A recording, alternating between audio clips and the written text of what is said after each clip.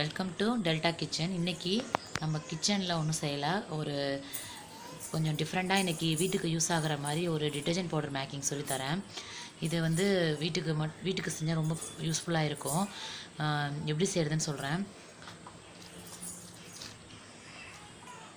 இதுக்கு washing soda எடுத்திருக்கேன். இது அரை கிலோ. இது சளிச்சது தான் washing soda washing soda add பண்ணியிருக்கோம் அரை கிலோ. கையில் க்ளோஸ் போட்டுக்கோங்க யூஸ் பண்ணுறதுக்கு முன்னாடி. இது நல்லா கையால் மசிச்சு விட்டுருங்க அப்படி. கட்டிலாம் இருக்காது சளிச்சது தான் இதில் நம்ம ரெண்டாவதாக டிட்டர்ஜென்ட் பவுடர் அரை கிலோ சேர்க்க போகிறோம்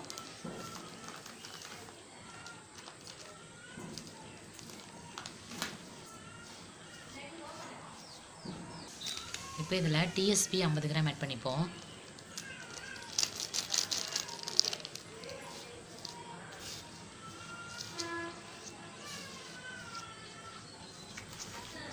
அடுத்து எஸ்டிபிபி ஐம்பது கிராம் ஆட் பண்ணிப்போம்.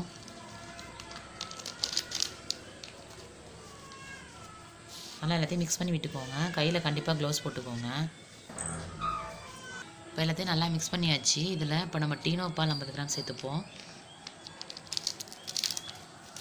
டீனோ பால் சேர்த்தாச்சு. இது வரைக்கும் நமக்கு கை வச்சு கிளற ப்ராசஸ் முடிஞ்சிருச்சு. இப்போ நம்ம இதில் சோப் ஆயில் சேர்க்க போகிறோம் சோப் ஆயிலில் வந்து ஆசிட் சலரி இருக்கும்.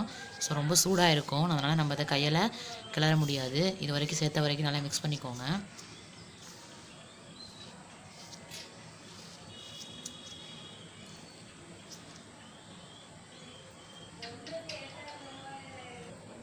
பாருங்கள் சோப் ஆயில் ஆட் பண்ணிப்போம். இது இரநூத்தம்பது ml.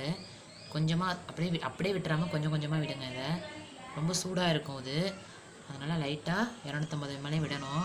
இதுதான் நம்மளுக்கு சோப்புத்தூளை நுரா வர்றதுக்கான ஒரு முக்கியமான பொருள்.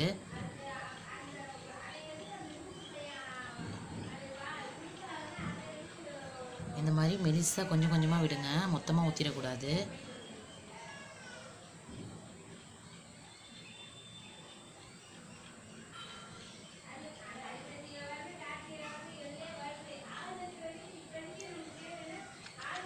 ஊற்றியாச்சு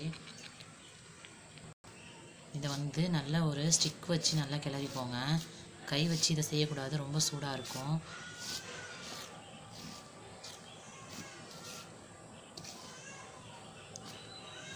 இதுதான் நம்ம சோப்பில் நொ சோப்பு தூளில் நுர வரத்துக்கான ஒரு முக்கியமான இன்க்ரீடியன்ட்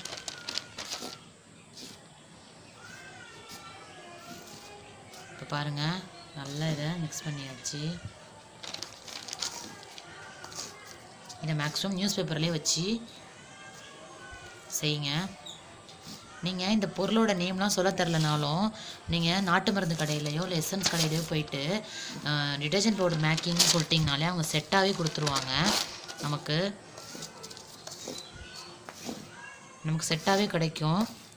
இது வந்து நாங்கள் நான் வந்து டுவெல்த் படிக்கும்போது எனக்கு கெமிஸ்ட்ரி ப்ராஜெக்ட் இருந்தது. இது இப்போ தான் லைட்டாக சூடு குறையுது. ஓகே சூடு குறைஞ்சிட்டு இப்போ இதை நம்ம நல்லா கையால் மிக்ஸ் பண்ணிக்குவோம். இப்போ இதில் சோடாப்பு ஆட் பண்ணிப்போம் கடைசியாக பாருங்க சோடாப்பு ஆட் பண்ணியாச்சு. இதில்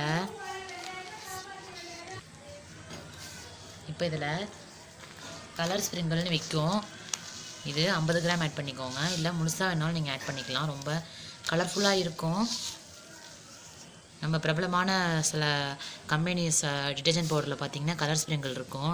நம்ம பார்த்துருப்போம் உங்களுக்கு வேணும்னா இது போட்டுக்கலாம். தேவையில்லைனா இது தேவையில்லை. இது வந்து ஆப்ஷனல் தான். கலந்தாச்சு இதுலேயே நம்ம டிடர்ஜென்ட் ப்ளூ சேர்த்துக்கிட்டிங்கனாலும் ப்ளூ கலராக வரும். கலர் ஸ்ப்ரிங்கிள் வேணாம். டிடர்ஜென்ட் ப்ளூ சேர்த்துக்கிட்டிங்கனாலும் இது வந்து ப்ளூவாகவும் இருக்கும். நம்ம ஸ்ப்ரிங்கிள் வேணாங்கிறப்ப நம்ம அதை சேர்த்துக்கலாம். அந்த டிடர்ஜென்ட் ப்ளூ நீங்கள் சேர்க்கும் போது தான் சர்ப்புத்தூள் வந்து ப்ளூ கலராக இருக்கிறது. இல்லை அது வேணாம் இது கலர் ஸ்ப்ரிங்கிள் சேர்த்துக்கிட்டாலும் ரெண்டில் ஏதாவது ஒன்று சேர்த்துக்கலாம். ரெண்டுமே வேணானாலும் ஆப்ஷனல் தான். இதுக்கு நான் மல்லிகைப்பூ ஃப்ராக்ரன்ஸ் யூஸ் பண்ணுறேன் பாருங்கள் செண்டு வந்து மல்லிகைப்பூ செண்டு. எல்லாம் சேர்த்துட்டு அந்த சூடு குறைஞ்சதுக்கப்புறம் தான் இதை ஆட் பண்ணணும். ஃபஸ்ட்டே ஆட் பண்ணிட்டோம்னா ஸ்மெல் சுத்தமாக போயிடும். பாருங்கள் சேர்த்தாச்சு. நமக்கு நல்ல வாசமான சர்ஃப்தூள் ரெடி ஆயிடுச்சு. இது வந்து கண்டிப்பாக எனக்கு ஒன்றரை கிலோ இருக்கும்.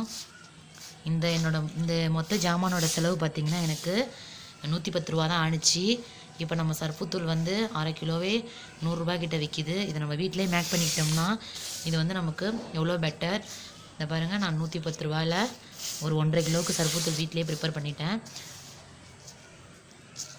இதில் முக்கியமான விஷயம் நீங்கள் செய்யும்போது கண்டிப்பாக முகத்தை கொஞ்சம் லைட்டாக மூடிக்கோங்க மூக்கை. நான் இதை உங்களுக்கு சொல்லிட்டு செய்கிறனால நான் முகம் மூடாமல் தான் செய்கிறேன் நிறைய தும்மல் வந்துருச்சு வேறு நெடி ஏறுது. பாருங்கள் எவ்வளோ அழகான நமக்கு சர்ப்புத்தூள் வீட்லேயே ரெடி பண்ணியாச்சு. இது செஞ்சு பாருங்கள் ரொம்ப யூஸ்ஃபுல்லாக இருக்கும். என்னடா இவ கிச்சனில் வந்து நமக்கு சர்ப்புத்தூள் ப்ரிப்பேர் பண்ணிட்டாலேன்னு நினைக்காதீங்க.